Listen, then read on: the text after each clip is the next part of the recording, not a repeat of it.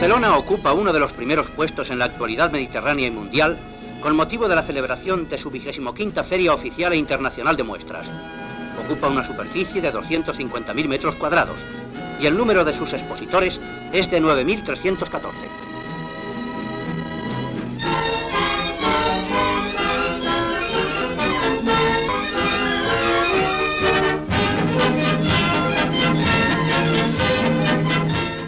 6.505 firmas nacionales y 2.809 extranjeras, pertenecientes estas a 26 países, son datos numéricos suficientemente expresivos de la importancia del certamen.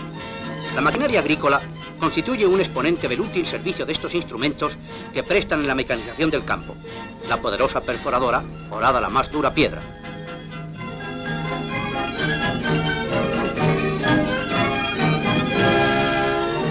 Para el mejor conocimiento de los visitantes, alguno de los tractores deja ver el funcionamiento de su motor con el oportuno corte.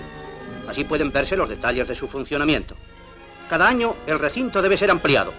En la actualidad cuenta con toda clase de instalaciones y servicios complementarios útiles para el visitante.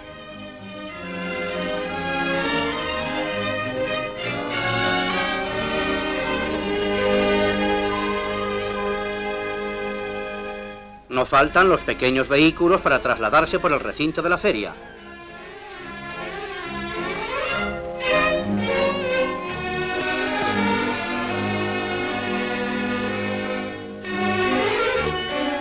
En el Palacio de la Metalurgia hay, entre otras, una lucida de la industria pesada.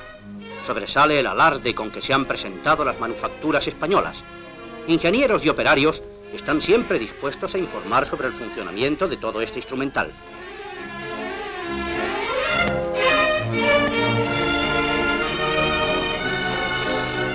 El pabellón marroquí pone su nota de exotismo conservando el estilo adecuado en su construcción arquitectónica.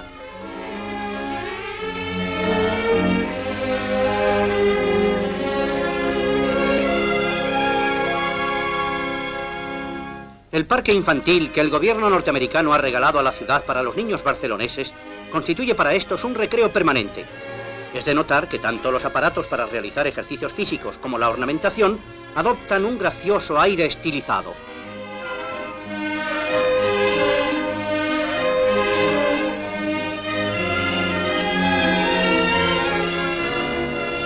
En el pabellón de México podemos ver la cartela con la leyenda exaltadora de la fraternidad entre todos los pueblos de habla hispana.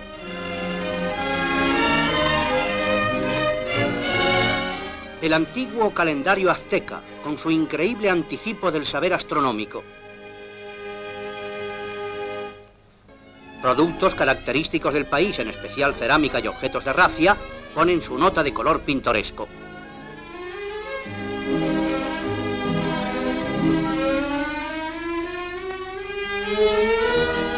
Una imagen de la Virgen de Guadalupe, por la que tanta devoción siente el pueblo mexicano. Suiza muestra aparatos de precisión, de óptica y de mecánica.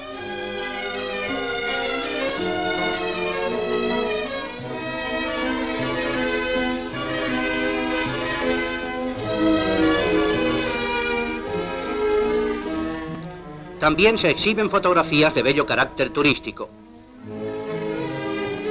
Una muestra de la maquinaria para la industria química helvética. Un gracioso plano de sus comunicaciones y de sus productos más importantes. Entramos en el pabellón de la Gran Bretaña para ver cómo funciona una excavadora construida a escala reducida,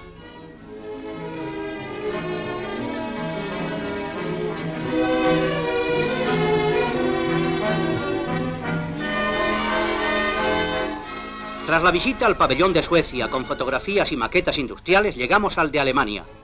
Esta nación cuenta en la feria con 718 casas expositoras. El certamen no solo es una demostración del amplísimo límite al que llegan el ingenio y la técnica, sino también un símbolo esperanzador de la deseada unidad entre los hombres y los pueblos, inspirada por el pacífico afán de la producción y el trabajo.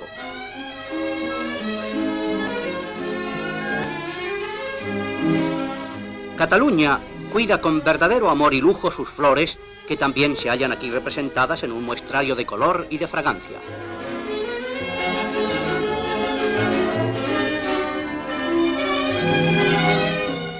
La boga de los productos plásticos encuentra su adecuada correspondencia en esta exhibición.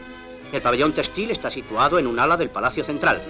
Es esta la representación genuina de lo que constituye el elemento primario y más estable de la tradición industrial de Cataluña. Efectúa aquí un recuento de las últimas manifestaciones de esta industria, en las variantes de lana, algodón, seda, géneros de punto, confección, tejidos, tintes, aprestos y acabados.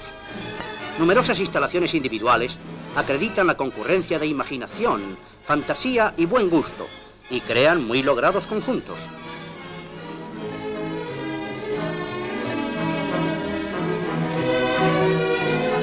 Los estampados ofrecen aspectos originales presididos por un auténtico sentido de la elegancia. La industria textil catalana prueba que no en balde su prestigio admite el parangón con el mejor país extranjero.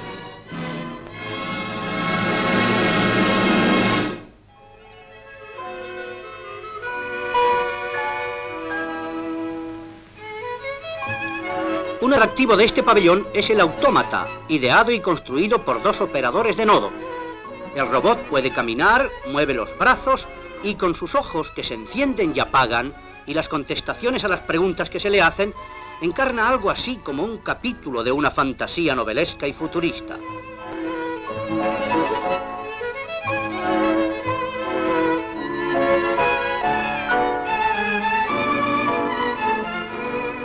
En el Palacio de la Reina Victoria se concentra el paraíso de los automóviles. Junto a la participación extranjera, descuellan las primeras marcas nacionales con sus últimos modelos.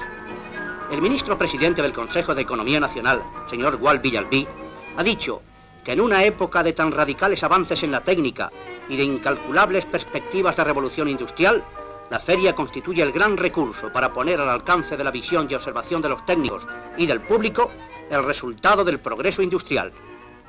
Al prestigio de estas marcas de automóviles españoles o fabricados en España se agrega el sentido suntuario, la elegancia de líneas y la perfección de las carrocerías.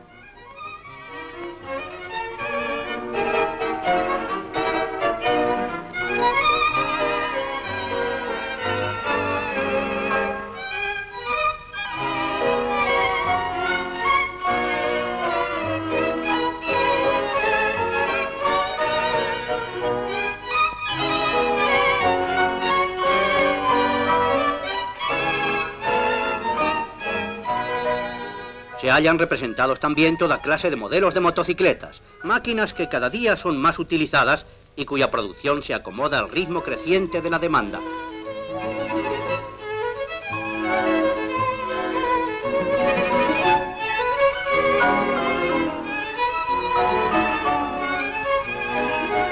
Esta exposición está considerada como la segunda de Europa. Ha cumplido la feria 25 años y en sus bodas de plata resume elocuentemente la valoración de muchos años de esfuerzo, de tenacidad y de ilusión creadora.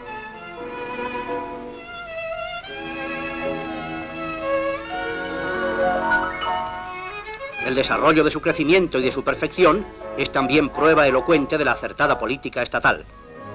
Cuando llega la noche, la animación se mantiene y la feria ofrece un aspecto nuevo bajo el resplandor eléctrico.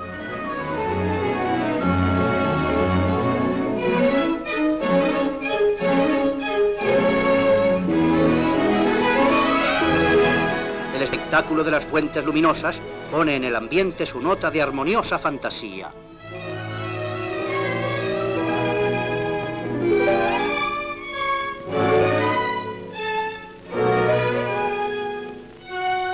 Luz, agua, forma y color son como un canto sin palabras dedicado al esfuerzo admirable de la feria y a sus jubilosas bodas de plata.